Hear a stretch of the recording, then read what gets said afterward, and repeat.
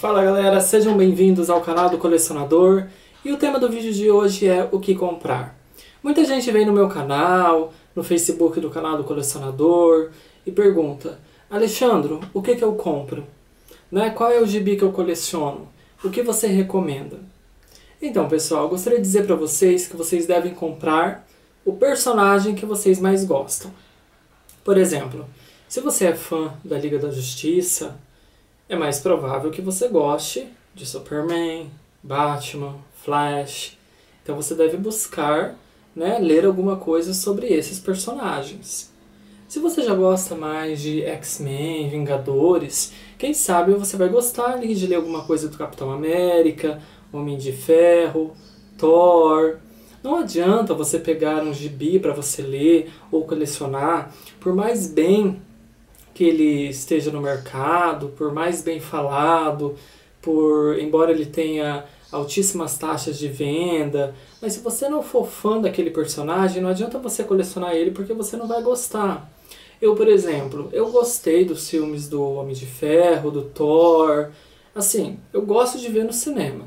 Se tiver uma continuação, com certeza eu não vou perder. Mas eu não consigo ler nem Thor e nem Homem de Ferro nos quadrinhos. Acho muito desinteressante. Se eu ganhasse uma coleção com dezenas de revistas em quadrinhos do Homem de Ferro, tá, eu ficaria feliz, até guardaria, poderia ler algumas histórias, mas não seria para mim aquela coisa empolgante, entendeu? Então é, é, essa é a dica que eu falo para vocês. Vocês devem ler aquilo que empolgam vocês. Por exemplo, o que me empolga definitivamente é o universo DC Comics. Né? Eu gosto ali de acompanhar as sagas do Batman, Lanterna Verde, Mulher Maravilha, Aquaman e Flash, adoro as histórias da Liga da Justiça. Já Marvel, Marvel o que mais me empolga são os filmes, né? alguns desenhos animados, como por exemplo X-Men Evolution, X-Men é, X-Men o desenho animado dos anos 90, mas eu não sou muito fã, eu não sou tão fã a ponto de acompanhar por anos a fio as histórias em quadrinhos. É claro que a DC também tem boas produções de cinema, tem ótimos desenhos animados, mas o que eu quero dizer, eu estou comparando a leitura, entendeu? No meu caso, eu prefiro DC para ler, né? E Marvel já nem tanto.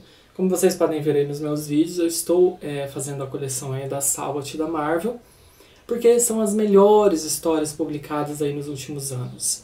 Então eu estou lendo comecei a ler essa coleção da Salva de 60 volumes com um pouco de receio, porque eu não sou tão fã assim da Marvel, mas não estou me decepcionando. Por quê? Porque são excelentes histórias. E eu achei essa coleção caprichadíssima e eu quis ter ela na minha coleção. Mas ciente de que eu estaria muito mais satisfeito se fosse, é, se ela fosse uma coleção da DC Comics, por exemplo. Entendeu? Agora o importante é de você ter uma preferência é você não ser alienado. Por exemplo, eu prefiro DC, mas eu também leio um pouco de Marvel, né? Tô fazendo a coleção da Salvat. Tô começando a ler aí é, o universo Valiant, que vem com XO Manoir é, e várias outras revistas. Então, pessoal, o importante é você sempre abrir espaço para novas leituras. Quem sabe você não encontra uma coisa nova, uma coisa diferente, e aí você se apaixona. Entendeu? Então é isso daí, pessoal. O que comprar o que comprar, o que começar colecionando de histórias em quadrinhos, você não deve ir pelo outro. Ah, o outro é fanático por Lanterna Verde, então eu também quero ter tudo de Lanterna Verde. Não, pare e pensa, você gosta de Lanterna Verde? Pois se você não gosta, não tem por que você correr atrás daquilo. Então, em primeiro lugar, você deve ir pelo seu gosto pessoal não ficar lendo. Claro que as críticas na internet ajudam, ah, aquele material é bom, aquele material não é, mas você deve ir pelo seu gosto pessoal. E se você não tem nenhum gosto assim, ah, eu tenho certeza que eu sou fã dos X-Men. Se, por exemplo, você não tem certeza do que você é fã, tente ler um pouquinho de cada coisa. Tente ler um pouquinho do Homem-Aranha, dos X-Men, do Superman, do Batman, do Aquaman. Uma hora você descobre sobre o que você é fã. Então é isso daí, pessoal. Esse vídeo de hoje foi sobre o que comprar.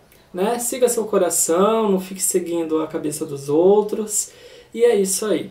É, e outra coisa que eu gostaria de dizer é, para vocês é que quando a história do personagem que nós amamos está ruim, a gente consegue ler, mesmo ele passando por uma fase ruim.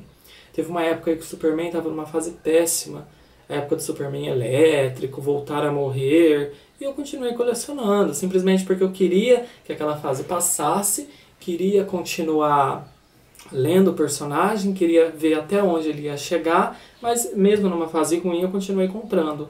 Agora, se você está lendo um personagem que você não gosta, a fase boa você vai achar mais ou menos, então imagino que você não vai achar da fase ruim. Ou seja, você não vai continuar colecionando nunca. Então é isso daí, pessoal. Siga seu coração, colecione aquilo que você goste e até o próximo vídeo. Fui!